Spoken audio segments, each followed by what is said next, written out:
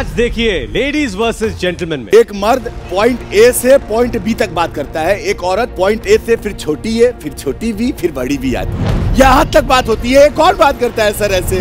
विशाल तुम कितने सताए हुए हो? बहुत! कितने कलेश देखे तुमने अपनी ज़िंदगी में? मेरा कलेश इंडियन टेलीविज़न पे आया है मालूम है ना आपको? इतना सताया गया इसको like he is got a man beater जिसने सिर्फ़ इसको दुख ही दुख दिए हैं तो ऐसी औरतें भी होती हैं आपको पता है ना? और मेरी कुंडली में वैसी मिल गई। Sorry on Flipkart with you. Watch play win now